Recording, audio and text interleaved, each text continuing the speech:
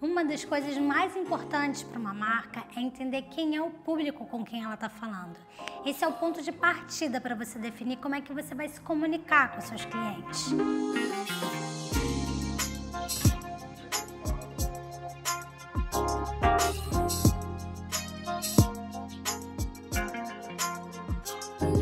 você tem uma marca, provavelmente você já ficou na dúvida sobre o que, que você deve escrever na sua rede social e qual é a melhor forma de falar com as pessoas.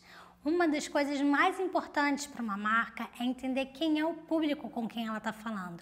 Esse é o ponto de partida para você definir como é que você vai se comunicar com seus clientes.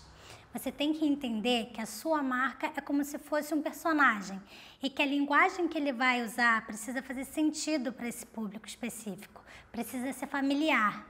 Mas para você entender o que, que você vai dizer, você precisa pensar o seguinte. A gente já falou em vários vídeos aqui do canal que o conteúdo das redes sociais tem que agregar algum valor para as pessoas, mesmo que seja só entretenimento. O conteúdo das redes sociais tem que ser sobre coisas que importam para essas pessoas. Não adianta nada ficar empurrando produto ou serviço porque ninguém vai seguir você para ver propaganda. Então, se você está com dúvidas sobre o tipo de conteúdo que você deve produzir, você pode baixar o nosso plano de branding que vai te ajudar a posicionar a sua marca na internet. É só acessar esse link que está aqui embaixo e fazer o download em PDF. Mas basicamente as pessoas te seguem porque elas querem resolver algum problema da vida delas. E as coisas que você publica vão ajudar elas a resolver esses problemas, essas questões.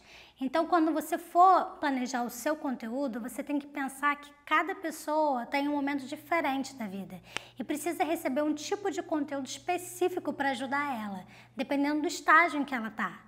A gente chama isso de jornada de compra, que é o caminho que o cliente tem que percorrer no momento em que ele vê a sua marca pela primeira vez, até o momento em que ele realmente decide comprar de você. Uma pessoa que acabou de entrar no Instagram, imagina isso, pela primeira vez, dificilmente ela vai comprar alguma coisa de você. Primeiro ela precisa se identificar com a sua marca, entender um pouco mais sobre os produtos e começar a se interessar. E às vezes ela nem sabe ainda que precisa do seu produto. Já uma pessoa que está realmente procurando uma solução para um problema tem que ser convencida que o seu produto é, é, a melhor alternativa do mercado.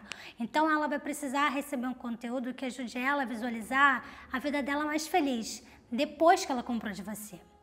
Falar nisso, se a dica de hoje te ajudou, deixa um like aí que a gente se ver no próximo vídeo.